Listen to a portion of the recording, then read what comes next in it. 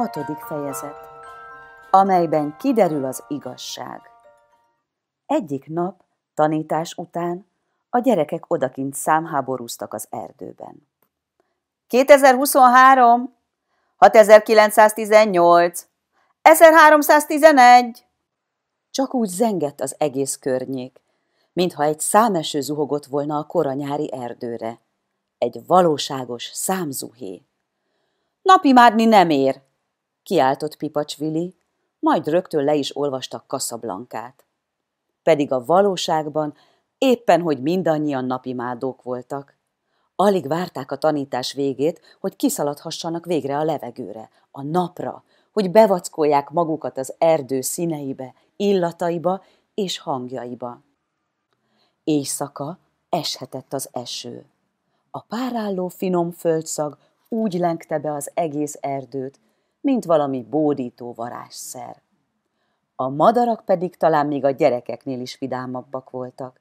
Az egész erdőt betöltötte a hangos madárcsicsergés. 2423! Nem, hanemka, csalódottan feltolta a számát a feje búbjára, és kicsit eloldalgott a többiektől. Hát ez nem igaz. Már megint leolvasták. Nem mondhatta, hogy nem, hanem mert a szám a homlokán sajnos éppen ennyi volt. És ahogy bosszankodva baktatott az erdőben, egyszer csak valami furcsa hangra lett figyelmes. Nem, hanem ka megállt és fülelt. Mi volt ez? Itt már nem voltak számháborúzók, itt csak is valami állat járhatott. Úristen, egy vaddisznó, gondolta nem hanemka, de a száján csak annyi jött ki, hogy jaj! Lassan megfordult, és óvatos léptekkel megindult visszafelé. Úgy is mondhatnánk, hogy osont. Vagyis osonni próbált. Mert nem tudom, próbáltatok-e már észrevétlenül osonni, sőt elosonni, de nem olyan egyszerű dolog. És ekkor, jaj, megint! Recsent egy faág, suhogtak a lombok, és a bokrok közt nem hanemka, valami furcsa torzomborz alakra lett figyelmes, akinek a fejéből két antenna lógott ki. Ahogy odanézett, az alak már hus el is tűnt az erdő sűrűjében. Mi tagadás? Nem, hanem a hátán felállt az összes kis aranypihe. Úristen, egy marslakó! gondolta nem, hanemka, de a száján megint csak annyi jött ki, hogy jaj! És ekkor már szaladt, futott, rohant vissza a többiekhez, ahogy csak bírt. Egy mars, egy mars, egy marslakót láttam, egy marslakó van az erdőben! ordította nem hanemka, ahogy csak a torkány kifért, mire a többiek vadul piszegni kezdtek. Hát már számháborúzni sem lehet nyugodtan, gondolták, de mondani nem mondtak semmit, mert az elárulta volna, hogy hol vannak, és akkor az ellenség azonnal leolvassa őket. Jaj, miért nem maradt csendben ez a nem, ha ka? gondolták. Hát nem igaz, hogy csak azért, mert őt már leolvasták, el akarja rontani a többiek játékát is. Ami persze súlyosan igazságtalan feltevés volt a részükről. Ugyanis nem, hanem ka meg volt győződve róla, hogy valóban marslakót látott, és meg akarta menteni őket a veszélytől. Ez most komoly, nem hülyéskedek. Hagyjátok abba, ez vészhelyzet, esküszöm! Erre már persze a többiek is megérezték a kétségbeesést a hangjában, és kissé vonakodva, de egyenként előbukkantak az erdőből, még mindig számmal a homlokukon. Először Pipacsvili jött, aztán Lakatos Sanyika, aztán Casablanca, Bilibok Valentin, Vargaliza, Hartmut Kohinor, és végül If You Please és Hirlemon Bonifác zárták a sort. Csak Nyúlpál nem volt ott. Neki haza kellett mennie iskola után, mert beteg volt az anyukája. Mindenki kíváncsi, de aggodalmas képet vágott. Egy marslakó itt az erdőben? Az ő erdejükben? Hát azért álljon már meg a menet, Hát azért hátrább az agarakkal, ezt Mimi nénitől tanulták. Hát azért nehogy már a nyúl vigye a puskát. Ezt meg Pirmály bácsitól, az iskolai gondnoktól. Kifaggatták nem hanemkát, hogy volt, mint volt, mit is látott pontosan. Csak hát a baj éppen az volt, hogy nem hanemka nem látta pontosan, amit látott, csak egy színes, elmosódott alakot a bokrok közt antennával a fején, aki a láttára elszaladt, mint a nyúl. Újra és újra elmondatták vele, mire újra és újra beleborzongtak az elmondottakba. Cselekednünk kell! kiáltotta Bilibok Valentin, mert ő volt közöttük a legtalpra esettebb. Kinyírom a bitangját! üvöltötte Pipacsvili, aki hirtelen a kalózok királyának képzelte magát. Szerintem szaladjunk el, javasolta Varga Liza, és a maga részéről már is hozzálátott bátor javaslata megvalósításához. Csajuk törbe, és ejtsük fogjul, kurjantotta lakatos Sanyika, és már vakarta is a bozontos, mélyszínű üstökét, hogy mi is volna marslakó esetére a megfelelő csel. És természetesen kérjünk érte váltságdíjat. Okoskodott ifjú please, de a többiek letorkolták, mert ha egyszer marslakó az illető, ugyan ki a fenétől kérhetnének váltságdíjat, és ezen egy kicsit fel is bosszantották magukat, hogy mekkora marhaság. Mire if you please, sértődötten félrevonult a csipke rózsika fa tövébe duzzogni. Minden esetre, morfondírozott Billy Bok Valentin, föl kéne fedezzük a rejtek helyét, meg azt is, hogy vannak-e még rajta kívül, vagy netán csak egy maga pottyant ide a földre. Lehet, hogy bajban van szegény, és segítségre szorul. Lehet, hogy haza akarna menni, de nem tud. Csubakka keresi szólót, mondta nem hanemka sírós hangon, mire a többiek annyira csúnyán néztek rá, hogy zavartan elhallgatott. Libasorba, indiánok! Mostantól egy pisszenést se, körbe nyomozzuk az erdőt, kiáltotta Bilibok Valentin. Először Csipke Rózsika fáját szaglázták körül, ahol az addig duzzogó ifjú Please is beállt a menetbe. Hmm, hmm, hmm, sehol semmi. Aztán lapos kúszásban kiavászkodtak a gazdag rétre. Az avászkodás köztudomásúan legalább olyan nehéz, mint az osonás, csak még nehezebb. Ahol szintén nem volt semmi, de olyannyira nem, hogy egészen úgy tűnt, mintha a kirándulók által mindig ott felejtett kincseket valaki gondosan összeszedegette volna. Nem volt ott a réten az égvilágon senki, és főleg sajnos semmi. Úristen, Dél-Amerika! kiáltott ilyetten Kaszablanka, mire a többiek először csúnyán néztek rá és piszegtek, hogy minek ordibál, de aztán hirtelen ők is nagyon ilyet képet vágtak. Mi van, ha a marslakó kirabolta Dél-Amerikát? Mi van, ha elvitte magával az összes kincsüket? És már rohantak is a rozsdás konténerhez. Azzal sem törődtek, hogy lapos kúszásban menjenek. Szaladtak, futottak, rohantak, ahogy csak bírtak. Ahogy Dél-Amerika partjait megközelítették, már rosszat sejtettek. A konténer környékén széttúrt szeméthalmok, rozsdás lyukas lábosok, kiszolgált merülőforralók, lábatlan kempingszékek, és még egy sor hasznavehetetlen kacat volt szétdobálva. Csak az ő drága kincseik nem voltak sehol. Hírlemon Bonifác bakot tartott Pipacs Vilinek, aki először csak belekukkantott a konténerbe, aztán kétségbe esettem bele is ugrott, hogy ott jobban felmérhesse a kárt. Ami felbecsülhetetlen volt minden képzeletet felülmúló. Minden kincsük odaveszett. Kirabolta őket a gonosz marslakó. Vili nagy nehezen kimászott a konténerből, és csüggetten széttárta a karját. Nincs itt semmi. Eltűntek a kincsek mindegy szálig. Dél-Amerikát kifosztották. A többiek hitetlenkedve néztek rá. Se bicska, se kulacs? kérdezte lakatos Sanyika. Vili a fejét rázta.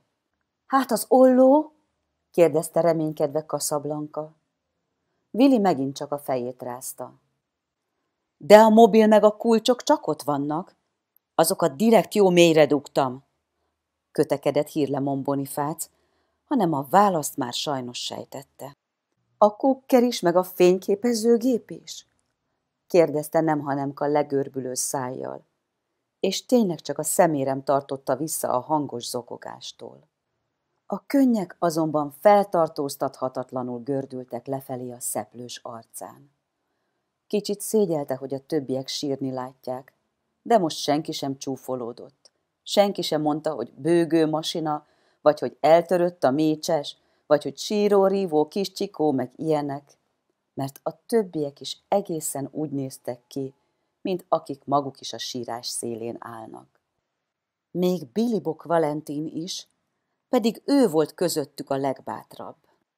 És ahogy ott álltak földbe gyökerezett lábakkal, teljesen tanácstalanul, egyszer csak hangos szárnysuhogást hallottak. Felnéztek a magasba, a távoli ágakra, és ott az egyiken megpillantották barátjukat, vagánypakolyt. Valahogy megérezte, hogy a gyerekek bajban vannak. Valahogy gyanús volt neki az erdőre boruló hirtelen csend. Feltűnő volt, hogy senki sem kurjongat, senki sem énekel, de még csak nem is dudorászik, nevet vagy csúfolódik. Senki sem kiabál számokat, egyáltalán. Hirtelen olyan mély csend lett az erdőben, amilyet csak közvetlenül vihar előtt lehet érzékelni. Most viszont hétágra sütött a nap. Az ég azurkékjén hangtalanul siklottak a duci fehér fellegek. Viharnak nyoma sem volt. Hüm, hümmögött vagánybagoly. Hüm, ez nekem nem tetszik. Hm, hm, ez nekem felettébb gyanús. Ha még pipája is lett volna, pont úgy nézett volna ki, mint Sherlock Holmes. Így viszont csak úgy nézett ki, mint egy erőn felül gondolkodó bagoly. Nyomban fel is kerekedett, hogy ellenőrizze a dolgok állását. Ahogy meglátta a csüggetten áldigáló gyerekeket Dél-Amerika partjainál, rögtön tudta, hogy mi a helyzet. Ugyanis vagánybagoly odaföntről sokkal többet látott, mint a gyerekek odalentről. Rálátása volt az egész környékre, mintha páholyból figyelte volna az erdő életét. Látta, ahogy a kis róka elkódorog otthonról, pedig Dini róka szigorúan meghagyta neki, hogy maradjon szépen a kis róka fenekén, amíg Dini haza nem ér. Nehogy úgy járjon, mint szégyen szemre az apja azzal a nyavajás ollóval. Látta, hogy Mihály medve megint annyira telezabálta magát málnával, hogy szinte élettelenül hevert a málnabokor tövében, és a szája szélét nyalogatta. Látta, hogy kecskebocs és fecskegida, valamint villásfarkú egerecske a kockatónál lubickolnak, ahol annyi volt a kockás mocsári lilium, hogy még Méla béka Bélát is kockának nézték. Látta, hogy tocsogó langyika, a sündisznó, már megint egy pocsolyában hentereg. Látta, hogy Mimi néni gombászik az erdőben, látta, hogy Lakatos Sanyika anyukája kiteregeti a mosást az erdőszélen. Látta, hogy Pipacsvili apukája, Pipacs Géza bácsi fényképeket készít kedvenceiről, a mohákról, meg a páfrányokról, és nagyítóval vizsgálgatja a spórákat. Vagánybagoly odaföntről mindent látott, és azt is tudta, hogy kirabolhatta el Dél-Amerika kincseit. Hangos szárnysuhogásba fogott, a gyerekek felnéztek az égre, mosolyogtak rá, de nem tudtak olyan felszabadultan örülni neki, mint máskor. Csak álltak tovább tanácstalanul és összetörten. Vagánybagoly ekkor intett a jobb szárnyával, mintha azt mondta volna, utánam. Intett egyszer, semmi. Intett kétszer, semmi. Ekkor elvesztette a türelmét, égtelen szárnysuhogtatásba fogott, és határozottan elindult a rókarántó felé. Röptében hátra nézett, hogy a gyerekek követik-e. Ők pedig csüggetten követték. Mentek, mendegéltek, mentek, mendegéltek. Az erdőnek ezt a részét kevéssé ismerték. Ez már távol esett az iskolától. Hallottak ugyan a rókarántóról, meg hogy ott barlangok is vannak a sziklák között, de nekik, ugyanúgy, mint a kis rókának, nem volt szabad arra menniük. Mert nem messze volt egy veszélyes szakadék, ahol évekkel korábban egy kisfiú leesett, és majdnem meghalt. Szerencsére vagánybagoly gyorsan odavezette a mentőcsapatot a maga tehetetlenül fekvő gyerekhez. Nélküle nem is tudták volna, hol keressék. Abban az évben Vagánybagolyt ki is tüntette a polgármester, dr. Várjon Áron. Kapott egy csodaszép, VB feliratú, piros és aranyszínű pólót, meg egy aranyérmet, amit a pólójára kitűzve hordott. Most is ott csillogott a pólóján, ahogy röpült a rókarántó felé, nyomában a gyerekekkel. A szívük egyre hangosabban kalapált. Tudták, hogy olyan helyen kóborolnak, ahol nem volna szabad. Ugyanakkor azt is sejtették, hogy vagánybagoly pontosan tudja, hová vezeti őket, és ettől csak még izgatottabbak lettek. Tudták, hogy nem messze van a szakadék, és tudták, hogy valahol ott vannak a barlangok. Ha egy pillanatra megálltak volna, az erős szívdobogásuktól semmit se hallottak volna. Bubum, bubum, bubum. Végül fölértek egy domb tetejére, amely tel is tele volt furcsa alakú sziklákkal, melyeknek hasadékaiban egy-egy barlangbejáratot fedeztek fel. Az egyik barlang előtt nicsak tűzrakóhely. Körötte két-három fatönk és egy napszitta csíkos nyugágy. A lassú tűzön egy kondérban valami fortyogott. A barlang bejárata melletti laposabb sziklára pedig ki volt téve száradni néhány kimosott kacat, amelyekről már csak a legélénkebb fantáziával lehetett volna megmondani, hogy eredetileg miféle ruhadarabok voltak. A domtetőre fölérve és ezt látva a gyerekek megtorpantak. Mit szépítsük, eléggé be voltak ijedve. Eléggé be voltak tojva. Eléggé tele lett a gatyájuk. Még Billy Bok Valentin is sápadtan merett a barlang bejáratára. Barlanglakó, marslakó? kérdezte halkan lakatos Sanyika. Mindig ő szólalt meg először, ha baj volt. Miért? Hát hol lakjon, szállodában?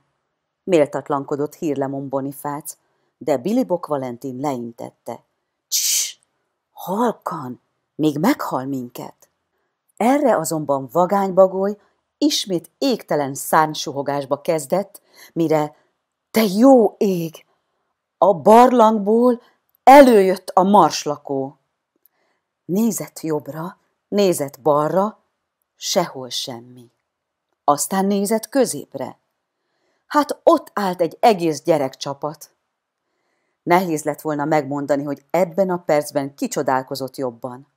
A marslakó vagy a harmadik A. Földbe gyökerezett lábbal meredtek a barlang lakó marslakóra. A loncsos ruházatánál már csak a bozontos feje volt rémisztőbb, és igen, nem, hanem ka igazat beszélt. A fején tényleg két antenna volt. És most, hogy közelebbről szemügyre vették, azt is látták, hogy az antennák végén két pici ventilátor van. A beállt csöndben csak a ventilátorok surrogása hallatszott. If you please, minden bátorságát összeszedve a következőket mondta a földön kívüli lénynek.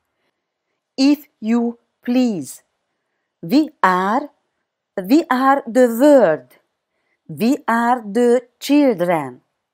Aztán zavartan elhallgatott. Hírlemon Bonifác akaratlanul is elröhögte magát, de aztán gyorsan jobb belátásra tért. Szervusztok! szólt hirtelen a marslakó. Ez tud magyarul? álmélkodott Pipacsvili, mire If you please csalódottan nézett a marslakóra. Mi járatban vagytok? Tudok valamiben segíteni? kérdezte a bozontos lény. Hát, ö, fogott bele lakatos Sanyika. A helyzet az, hogy Dél-Amerikát csúnyán kifosztották. Tessék? csodálkozott a marslakó. Tudtommal ez itt Magyarország, de javítsatok ki, ha tévedek. Nem, nem, hanem nagyon is jól tetszik tudni. Sietett nem, hanem a segítségére. Csak a helyzet az, hogy Dél-Amerikában voltak a kincseink. Olyan messze, álmélkodott a torzomborz lény. Nem, hanem közelebb, mint gondolni tetszik. Ugyanis az erdő szélén. Ugyanis egy rozsdás konténerben. Fejezte be a mondókáját nem hanemka, és gyorsan lesütötte a szemét.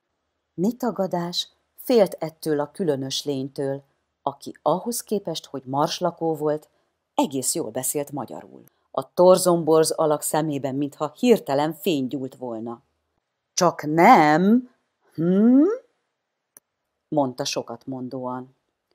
Mit adtok, ha kitalálom, hogy mi volt benne? kérdezte. A gyerekek tanácstalanul néztek egymásra. Fogalmuk sem volt, hogy mi lehet egy marslakó titkos vágya. Vagánybagoly, aki az egész jelenetet a fa tetejéről szemlélte, megint erős szárnysuhogásba fogott. Hát, mégis mire tetszett konkrétabban gondolni? kérdezte Billy Bok Valentin, aki mindig nagyon talpra esetten gondolkodott. Hmm, cserébe kérnék mondjuk hat tojást, bökte ki a marslakó. Azt én tudok hozni, örült meg Hírlemon Bonifác. Nekünk vannak tyúkjaink. De csak akkor kapja meg, mondta Pipacsvili, akinek megint nagy lett a szája, ha mind egy szálig eltalálja, hogy mik voltak Dél-Amerikában. Rendben, mondta az antennás lény. Hát, lássuk csak. Közben a szemét becsukta, mint aki a belső látásával látja, amit mond. Egy bicska, egy kulacs, egy olló, egy mobil, egy kulcsomó, és egy eldobható fényképezőgép.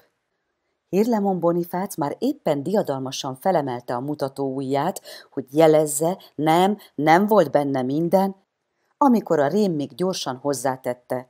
Ja, és persze egy kukker. A harmadik ának úgy, ahogy volt, leesett az álla. Hát ez kész. Hát ez őrület.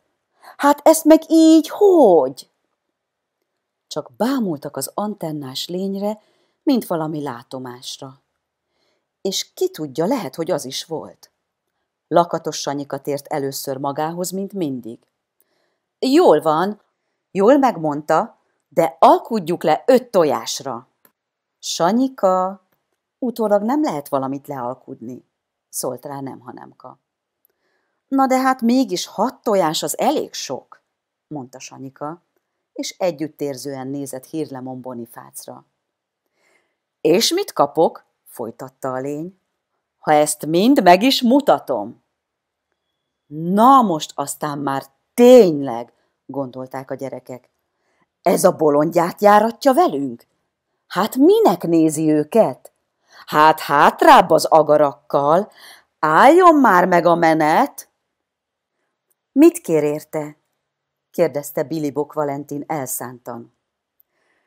Négy darab ceruza elemet, mondta a rém, és felmutatott a fején surrogó pici ventilátorokra. Ugyanis elemmel működnek, mondta. Rendben, kurjantotta Pipacsvili. Azt én hozok, apukámnak mindig van otthon. Erre a marslakó sarkon fordult, bement a barlangjába, és előhozta a kincseiket mind egy szálig. Az egész Dél-Amerikát úgy, ahogy volt, cakkompak. Kipakolt mindent a fatönkökre, és kavart egyet a kondérban bugyogó, ki tudja milyen mérgező kotyvalékon. És mit adtok? folytatta a rém. Ha mindet visszaadom a jogos tulajdonosoknak. De hiszen azok mi vagyunk, fortyant fel Tordai Gézuka, akiről mindenki azt hitte, hogy órákkal korábban hazament. Én is így gondoltam, mondta a rém, és a fakanállal feléjük bökött. Hát, fogott bele kicsit félve Bilibok Valentin, mit kíván rémséget cserébe? A marslakó kicsit gondolkodott, aztán azt mondta, azt szeretném, ha velem ebédelnétek. A gyerekek ilyetten egymásra néztek. Meg lett mondva nekik, hogy ne fogadjanak el idegenektől semmit, főként ételt ne. Most mi legyen? Vagánybagoly ismét őrült szárnysuhogásba fogott. Az egyik szárnyával lefele mutatott, a másikkal fölfele. Ez az igenis nem is jele volt. Kaszablankának erre hirtelen támadt egy ötlete. Ételt nem fogadhatunk el, de szívesen itt maradunk, amíg megebédel. A marslakónak felcsillant a szomorú szeme. Az nekem többet ér minden kincsnél, mondta, és már is helyjel kínálta őket a tűz körül. Tudjátok, és ekkor nagyot sóhajtott. Nekem mindig egyedül kell enni. Nincsenek már barátaim, nincs családom, sőt, még laknom sincs hol, csak ez a barlang. Hogy-hogy? kérdezte Tordai Gézuka, aki amióta előkerült, feltűnően elemében volt. A marson nincsenek lakások? A marson? csodálkozott a marslakó. Hát ti azt hiszitek, hogy én a marsról jöttem? Igen, bólogatott Kaszablanka. Még antennájának is tetszik lenni. Antenna? Ja, ez! mutatott fel a feje búbjára a rém. Ezek csak az elemes ventilátorkáim, hogy ne legyen olyan melegem. Ezt is azon a réten találtam, ahol a kirándulók piknikezni szoktak. A gazdag réten! Kiáltották a többiek kissé felháborodva. De hát az a mi vadászmezőnk! Az erdő mindenkié, nem? mondta a marslakó, mire a gyerekek elszégyelték magukat, mert ebben kétség kívül igaza volt. A beszélgetést Bilibok Valentin terelte vissza eredeti medrébe. Szóval, ha itt maradunk, amíg elkölti az ebédjét, akkor visszakapjuk a kincseinket? Bilibok Valentin mindig ilyen szépen választékosan beszélt, a többiek csak tátották a szájukat. Vissza, mondta a marslakó. És akkor tényleg megelégszik a hat tojással? kérdezte kissé gyanakodva hírlemon Bonifác. Tudjátok mit? mondta a marslakó, aki úgy tűnt, nem is annyira marslakó. Ha egy héten egyszer-kétszer meglátogattok, és körülülitek velem a tüzet, nekem az minden kincsnél többet ér. Nem kérek mást. Ez azt jelenti, hogy nem is tetszik visszamenni a marsra? kérdezte nem Hanemka. Nem, nem megyek. Itt is legalább olyan messze vagyok mindenkitől, mintha ott lennék, mondta szomorúan a lény. De ha itt vagytok velem, akkor ez a távolság hirtelen összezsugorodik, és újra itt leszek ezen a világon. Nem, hanem ka örült, hogy anyukája reggel emlékeztette, hogy Pézsét is vigyen magával. Mindenki kicsit szipogott. És akkor már nem is tetszik marslakónak lenni? kérdezte kicsit csalódottan lakatos Sanyika. Nem bizony, mondta a lény. Hanem akkor kinek tetszik lenni? kérdezte Kaszablanka. Mátrai Lajos fuvarozó kis kezit csókolom, mondta Mátrai Lajos, és kicsit kihúzta magát. Az idejére sem emlékezett, amikor valaki utoljára kíváncsi volt arra, hogy kicsoda is ő volt a képpen. Sőt, mintha már ő maga is alig emlékezett volna.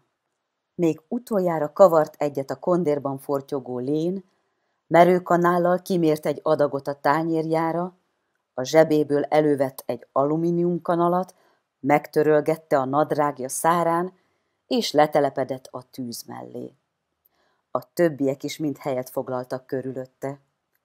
Mátrai Lajos már éppen a szájához emelte volna a kanalat, amikor Bilibok Valentin megszólalt. Jó étvágyat, Mátrai Lajos! Köszönöm, fiam, mondta Mátrai Lajos. Azzal belemerítette kanalát a krumplilevesbe, és kicsit fújta, mert forró volt. A leves olyan incsiklandóan gőzölgött, hogy a gyerekek szájában összefutott a nyál.